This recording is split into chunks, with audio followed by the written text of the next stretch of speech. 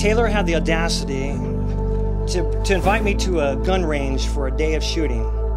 And then, with me having access to an assortment of loaded weapons, he chose that moment to request my blessing for my little girl's hand in marriage.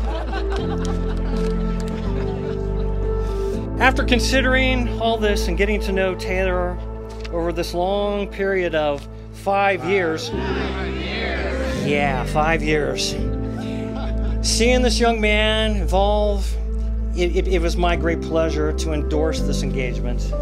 Please join me in toasting the union of Tabitha, who will always be my little girl, and Taylor in their marriage, of which I am well pleased.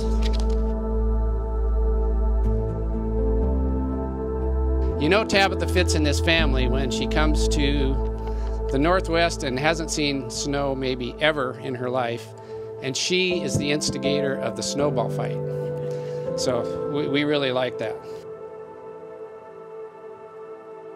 We pray you will keep Jesus at the center of your marriage, that you will grow together, that you'll never go to bed angry. And as we raise our glasses, may today be the day you love each other the least.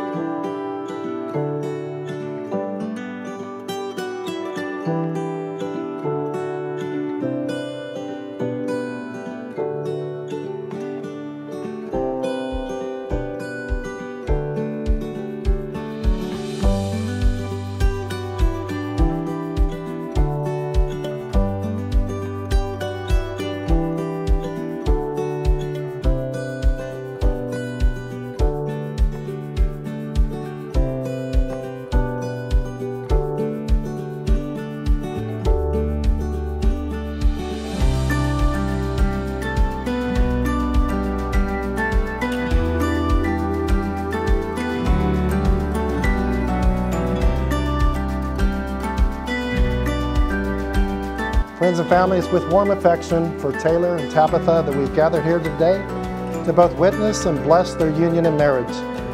At this sacred moment, they bring the fullness of their hearts as a treasure and a gift to share with each other. They bring their dreams which bind them in eternal commitment. They bring their gifts and talents, their individual personalities, and most importantly, their unique spirits which God will unite into one as they build their lives together. So we rejoice with them and we thank the Lord for creating this union of hearts that's built on friendship and respect and love. Will you join me in a moment of prayer? Taylor, it is your duty to love Tabitha as yourself, to provide tender leadership, and to protect her from danger.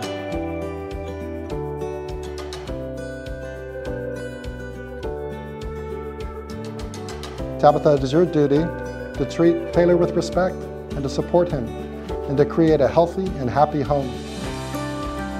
Ladies and gentlemen, it's my distinct honor to present to you for the very first time Mr. and Mrs. Taylor Utzler.